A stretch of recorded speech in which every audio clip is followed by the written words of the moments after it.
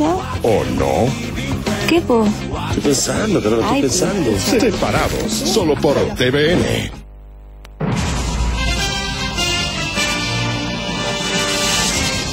Se estrenó la semana pasada en Estados Unidos y ya batió un récord.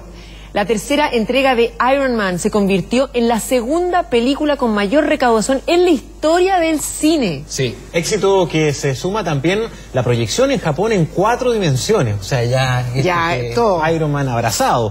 ¿ah? Y hay una quinta y hasta sexta versión de la película ya proyectada. Got a lot of apologies to make. Aunque en Estados Unidos se estrenó una semana después que en nuestro país Iron Man 3 ya se ha convertido en un fenómeno del cine en lo que va del año, solo en su primer fin de semana en Norteamérica suma más de 175 millones de dólares en recaudación, solo superaban su debut con el estreno de Los Vengadores.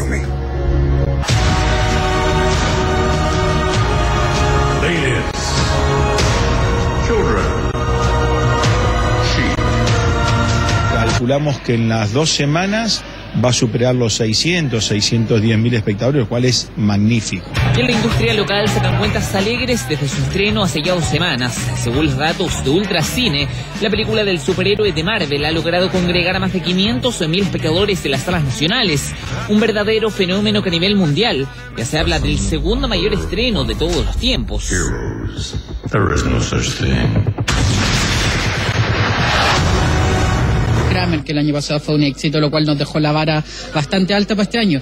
Pero los números nos están acompañando, tenemos un sinnúmero de películas para este año, sobre todo ahora vacaciones de invierno. Solo unos 30 millones de dólares la separa de lo que recaudó Los Vengadores el año pasado en su primer fin de semana de estreno.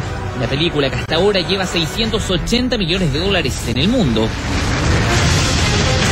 Ahora si hablamos de las películas más taquilleras de la historia del cine, Avatar ocupa el primer puesto en recaudación con más de 2 mil millones de dólares, luego le sigue Titanic y en tercer lugar Los Vengadores.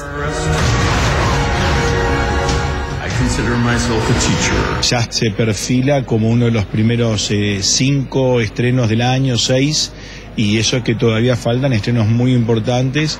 Y como siempre, el material que aparece en vacaciones de invierno, que al haber tanta afluencia de público, tanta gente en los cines, eh, crece también muchísimo. Una cifra que se suma al fenómeno de esta película que llegó un 4D a las salas de Japón, que incluso se puede oler.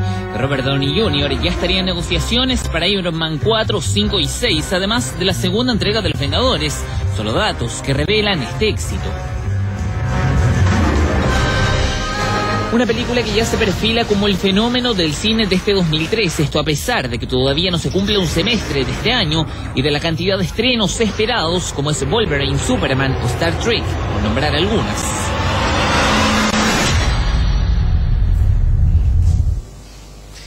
Nos despedimos como siempre. Muchísimas gracias por haberse informado junto a nosotros. Continúen la sintonía de TVN. Los esperamos como siempre más tarde en el canal 24 horas. Así es, muy buenas tardes, nos vemos. Mañana.